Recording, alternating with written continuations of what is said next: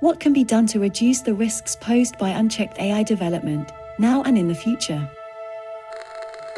The risk I'm talking about is the risk these things will get smarter than us and eventually take over. And for that risk, there may be something governments can do because nobody wants that.